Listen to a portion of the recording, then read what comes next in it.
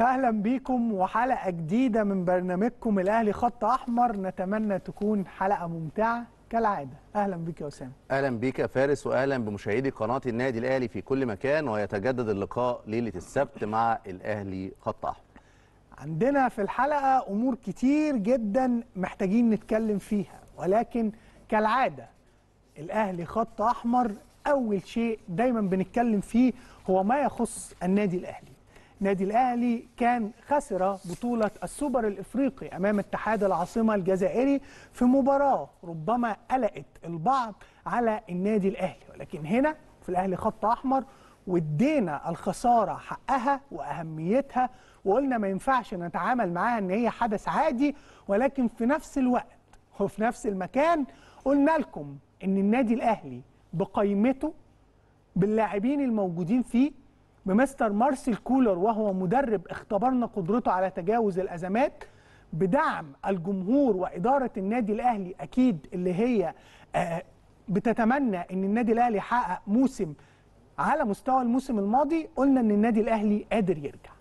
وأنا مع الفريق ده شفت قدرة النادي الأهلي على العودة فيما بعد الخسارة من سان داونز بخماسية. الوضع كان صعب البعض اعتقد إن النادي الأهلي هيسلم ويرمي الفوطة ولكن بعد ما نال النادي الأهلي وقتها ربما آآ آآ يعني الصدمة الكهربائية أو فكرة ال الدش أو فكرة يعني إن أنت تفوق رجع النادي الأهلي وفاق النادي الأهلي وأنهى النادي الأهلي البطولة بطلا لأفريقيا. هكذا بعد مباراة السوبر كان لدي قناعة تامة أن النادي الأهلي قادر على تدارك الأمور وأن النادي الأهلي لديه فريق قوي ومميز ومش هيفرط في حاجة. ربما كان لسان مستر مارسيل كولر أن على أحدهم أن يدفع ضريبة الخسارة أمام اتحاد العاصمة وعلى أحدهم أن هو يعني ينال رد فعل النادي الأهلي. شفنا رد الفعل في مباراة المصري ويعني قول اللي أنت عايزه.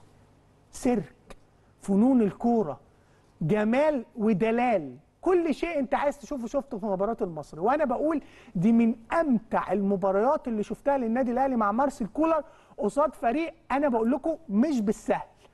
والبعض اللي قيم الأمور بشكل سطحي وتحدث عن إن النادي المصري فريق سهل أنا بقول لك لا النادي المصري بالصفقات اللي جابها والانتدابات اللي جابها وهي من أفضل الانتدابات للفرق السنة دي ولا علي ماهر كمدرب ولا التركيبة دي كانت تقول إن النتيجة دي تحصل. ولكن هي ردة فعل البطل أمام فريق أنا بقول لكم مش بالسهل ولكن النادي الأهلي هو الفريق الأصعب.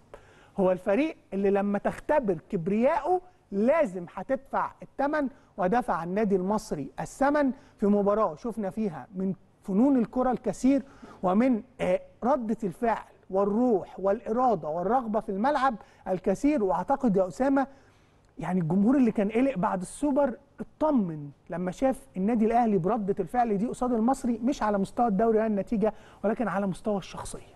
ما هو عشان كده النادي الأهلي مختلف يا فارس. وعشان كده جماهير النادي الأهلي حتى سماتها مختلفة في التعامل مع الإخفاق. بتكون بشدة كبيرة جدا وربما يكون النقد لاذع جدا ولكن ده طبيعة جماهير النادي الأهلي اللي قلت أنا مرارا وتكرارا هنا من خلال البرنامج إن على الجميع إن هو يتحمل هذه الضريبة. فكرة إن أنت دايما لازم تكون رقم واحد. فكرة إن أنت دايما احتمالات الفوز الخسارة الهزيمه التعادل مش هي الاحتمالات الأمثل. أنت يفوز يفوز وبالتالي ده صعب جدا قاسي جدا ولكن بيخليك قادر إن أنت تحافظ على القمة اللي هي أصعب بكتير من الوصول ليها. لما بتتهزم في بطولة أو بتخسر بطولة ده وارد جدا لأن دي كرة قدم. محدش بيضمن الفوز قبل ما ينزل. واللي بيضمن الفوز قبل ما بينزل بيخسر. وده اللي حصل في مباراة السوبر الافريقي. كلنا كنا عندنا استعداد للاحتفال بالبطولة. الفوارق الفنية كبيرة جدا.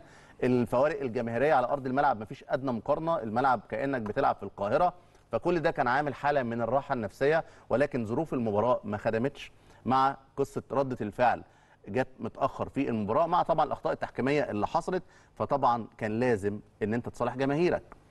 ومصالحة جماهيرك مش فكرة إن أنت تفوز في مباراة في الدوري. لا. فكرة إن أنت توصل رسالة لجماهيرك أيوه أنا المستوى الفني اللي ظهرت بيه ده مش هو المستوى بتاعي. ويمكن طلعنا هنا وقلنا أنا مش قلقان من المستوى الفني ولا قلقان على الإطلاق من ال squad اللي عندك لأن أنت بالفعل عندك أفضل squad في قاره أفريقيا وسيبك من أي حد يقول لك إن في أندية أخرى عندها أفضل squad الأندية الأخرى بنشوفها على أرض الواقع ومش هنحكم من أول جولة لكن أيضا بعيد. آه عندها squad جيد الحقيقة. طبعا. لكن squad النادي الأهلي هو الأفضل هو الأكثر تناغما هو الأكثر تكاملا هو الأكثر خبرة بتحقيق البطولات ودي بيدفع فيها مش فلوس دي بيدفع فيها تاريخ. فمحدش هيقدر يدفع التاريخ اللي يخلي squad ه يكون عنده قوة شخصية النادي الأهلي. عشان كده كانت ردة الفعل مهمة جدا إنها تكون أمام فريق قوي زي فريق المصري البورسعيدي. مهمة جدا تكون أمام فريق كان في وقت من الأوقات بيشغل بالك الحساسيات والتعامل النفسي داخل أرض الملعب. مهمه جدا إنها تكون قدام فريق بيتحفز ليك وكأنها مباراة البطولة وده حق كل فريق يواجه النادي الأهلي. أيضا أمام جهاز فني بقيادة كابتن علي ماهر. والكابتن علي ماهر البعض بيقول أنتوا بتزعلوا من علي ماهر. لا على الإطلاق. إحنا بنشوف إن الكابتن علي ماهر بيكون تركيزه 200% في مباراة النادي الأهلي وده حقه. الراجل بيحب شغله وبيحب المكان اللي هو بيشتغل فيه. وينجح فيه.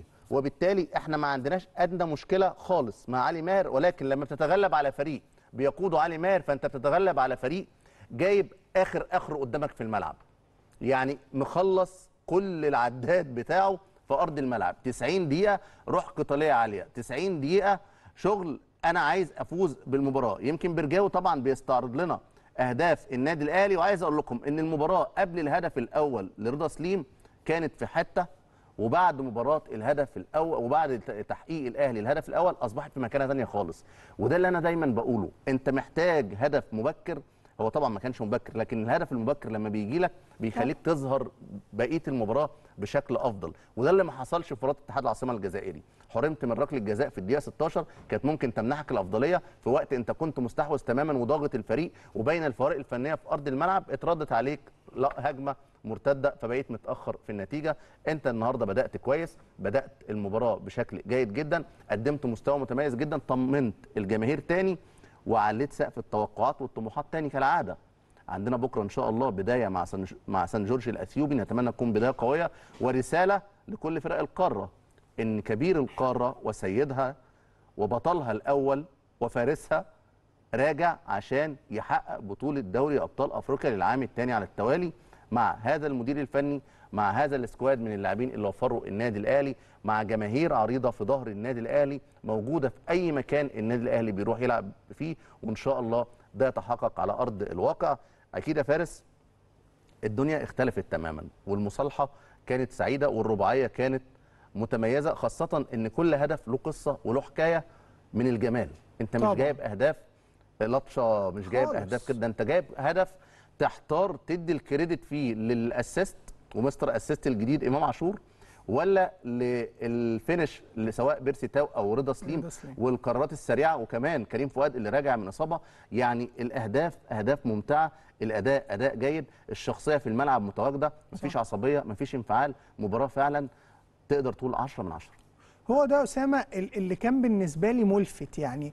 عادة يا جماعة بعد المباريات اللي بتقع فيها ما بيكونش اللعيبة في الحالة الذهنية دي. أسامة بيكلمكم في جمال الأهداف وإحنا لو بنتفرج يعني شوف الفيجن اللي عند إمام عاشور في نقلة الكورة ونقلة الملعب وإن هو يقرأ إن بيرسي تاو يقدر يروح بالشكل ده ويحط في الزمان والمكان المناسب. كأن يعني وش رجله أو رجله بيشوف وبتتكلم. كان طبعا لعبه مش سهلة ودي قدرات ودي قيمة فنية موجودة عند إمام عاشور لا يمكن أحد ينكرها.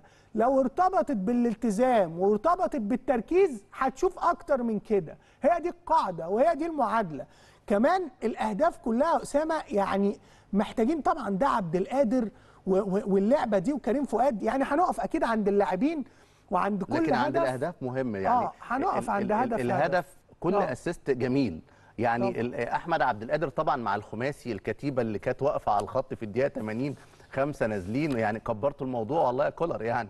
فبتغير خمس لاعبين فبتنزل خمس لاعبين تانيين فبتلاقي نفسك بتلعب الأداء ده.